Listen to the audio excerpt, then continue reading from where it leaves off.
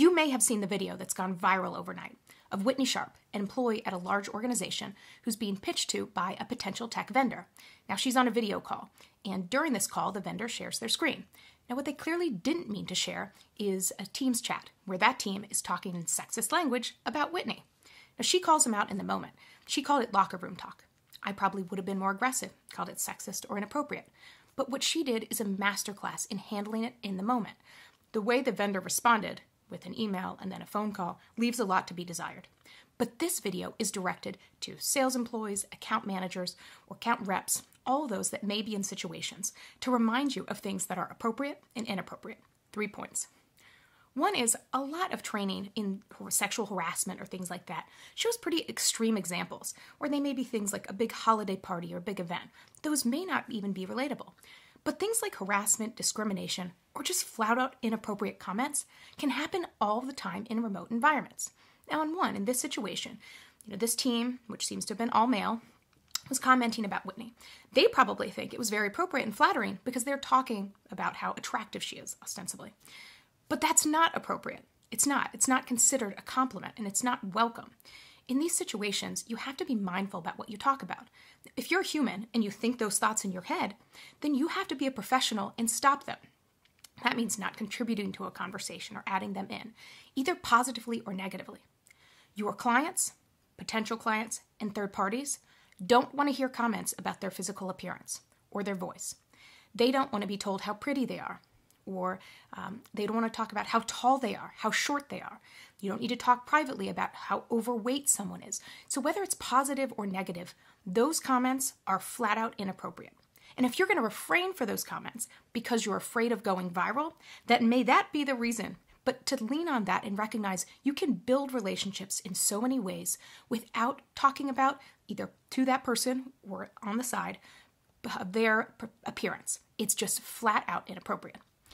Two, sometimes you'll hear people say, Well, I'm horrified that this would happen because I have a daughter or I have a sister.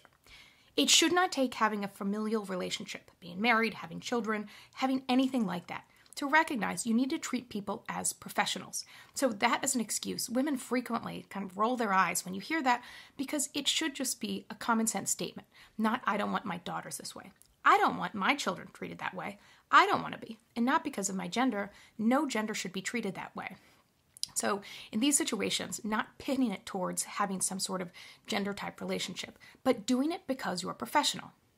Three is it's not enough to just sit by silently. I haven't seen who all's on that team chat. There may be others that felt like they did the right thing by watching that chat and not contributing to it. They may have thought, like, this kind of gives me the willies. But it's truly not enough. And frequently comments like this happen. It's why I'm always glad when videos like this see the light of day, because it's horrible to see happen, but it's important for others to learn from it and do better. That's why I'm making this video. So if you see others talking like this, then calling them aside. And it's not like a dare video from when I was in elementary school of, you know, that's not cool. We say no to drugs. In a situation like this, you see people making comments, calling them out and saying, "Oh, that's unprofessional." If you want to say, "Did you see that person went viral for the same thing?" It's just not not okay, and it's not who we need to be. And that's exactly what the apology from the organization said. This is not the organization we are. Unfortunately, that's exactly who they are. It may not be who they want to be. But so, you as a professional, thinking about the actions that you take, are those the actions that you want to be? And if your comments, even if not directed directly to that prospect or that client or that colleague, if those were to see the light of day, would you be proud of what you say or would you be horribly embarrassed?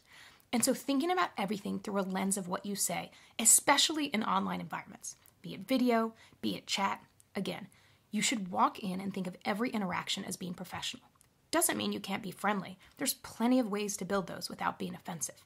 But stopping and recognizing that comments, especially about physical appearance or the like, positive or negative, are not necessary, are not value add, and there's so many better ways to do business.